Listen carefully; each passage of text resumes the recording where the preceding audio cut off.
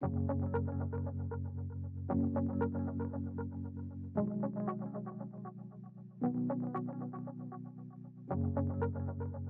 El programa forestal del CERFOR, mediante el Fondo de Investigación Forestal Aplicada del Proyecto Manejo Forestal Sostenible, apoyó entre el 2018 y 2019 a Karen y su equipo de investigación en la iniciativa de evaluación de plantaciones de capirona en la Universidad Intercultural de la Amazonía en Ucayali.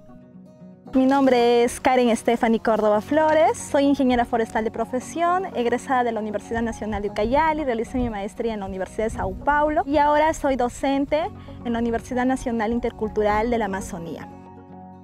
Hemos trabajado en el tema de evaluación de variables ecofisiológicas. El proyecto consistía en poder descubrir y saber cómo se desarrolla y cómo se desenvuelven las plantas cuando nosotros variamos los factores. Hemos trabajado con dos factores, el distanciamiento y la profundidad de siembra en la especie capirona. Hemos trabajado con dos distanciamientos, 3x2, 3x4 y una profundidad de 30 centímetros, que es lo tradicional, y de 90 centímetros. ¿Con qué finalidad? Si nosotros trabajamos con una profundidad mayor, vamos a obtener que las raíces en el prendimiento, en la, en la etapa inicial, va a tener mejor desenvolvimiento. La idea como docentes es que el estudiante pueda trabajar, manejarlo aquí. Porque ¿de qué sirve, digamos, practicar con uno o dos árboles, evaluar un diámetro, evaluar una altura? Cuando puedo trabajar con 500 árboles, con 600 árboles, trabajando con práctica podemos desarrollar profesionales mucho más eficientes.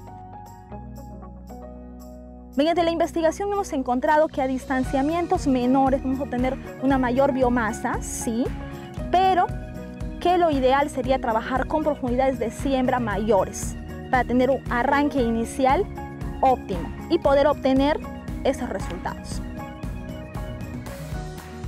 Esta plantación nos ha dado una enorme oportunidad, no solamente por verlo, digamos, físicamente, vemos que este ambiente que antes era un pastizal, que era un basurero, se ha convertido en un ambiente muy agradable para poder trabajar y hasta poder tal vez pasar un momento muy bonito.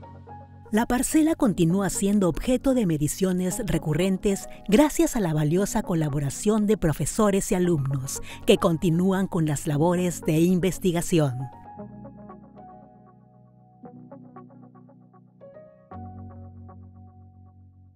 Siempre con el pueblo. Gobierno del Perú.